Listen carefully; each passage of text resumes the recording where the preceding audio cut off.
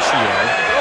63% for Tate, 60 Chappelle to Friday Night Fights, our matchmaker, and got that squared away, and Sosa's in the ring. Sammy, of course, manages and trains. guy who's a step down in class and he's taking a tune-up a little different. He's taking a guy who's been in there with good fighters who can bang and he's experienced.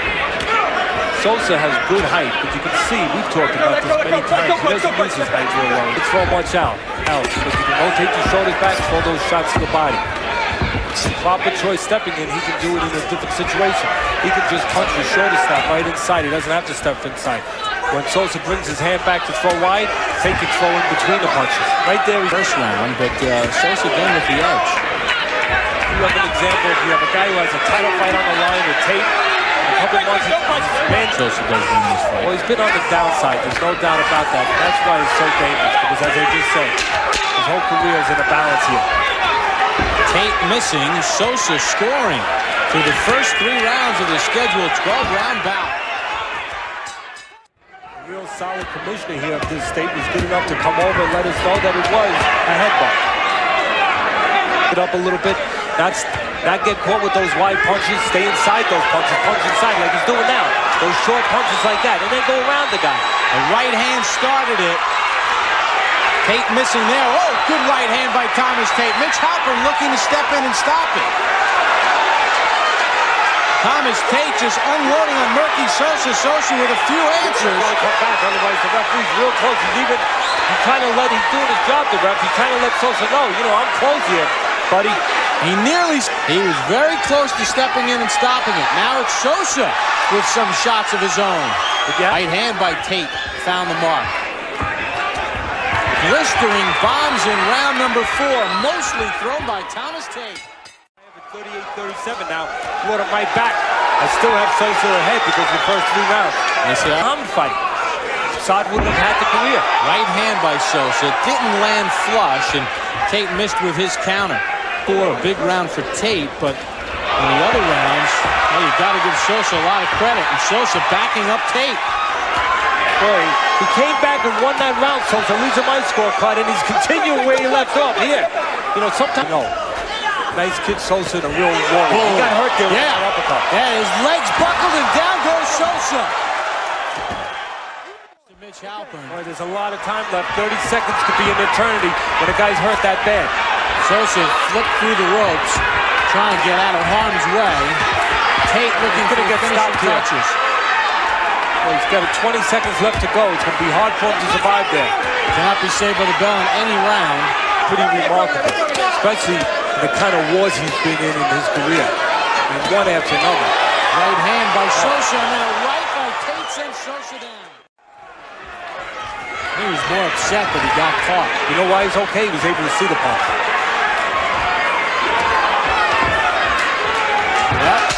Sosa goes down again here in round seven, but he's still going. Right hand by Sosa. That's if he wins here. Sosa answer, Tate answers back, but Sosa landing the better punches here in round eight.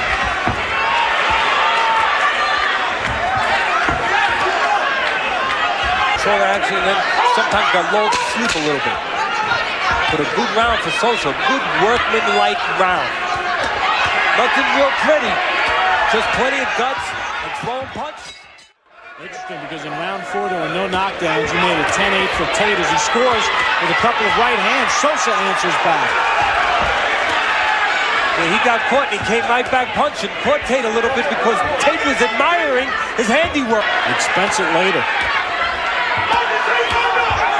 Sosa blocking those shots and he scores with a left.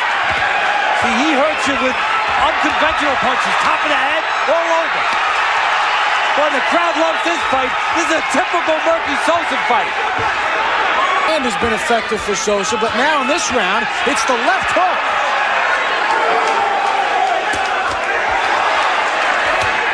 The left hook in He round. was able to stop. He was able to stop Williams. Well, in that first Williams fight, when he did stop it, Sosa was ahead on all three judges' scorecards. Guys deserve to have a world title bout at least for one day. they do. Tate trying to answer. It has been better of 60 punches, 70%. Let go. Hey! Uh, you see, Both men. 86 84 Sosa. you were bet man, you put the gun to my head right now. I'd have to say anything can happen. He's been down, but I'd have to say again. Oh, here's some real good shots here. Tate with the right hands. A, you know, 800 pound gorilla there. Oh, there's another knockout. The way they're getting up. That's it. Right to the temple. And Merqui Sosa stopped in round number 10. Listen, don't me wrong. This has been great. You're going to see Sosa didn't was turning, and by turning, he might have lost vision of the punch. It didn't seem like the most crunching of blows. Didn't seem like the hardest punches he's been hit tonight. Temple? It's hard to tell there, but you know he was late on his turn.